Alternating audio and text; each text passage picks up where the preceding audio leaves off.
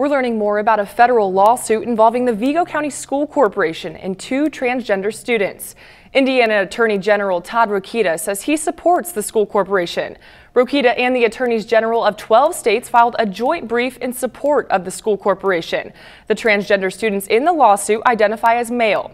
The suit contends they should be able to use male locker rooms and restrooms, and the school corporation allows them to use unisex facilities near North High School's health office.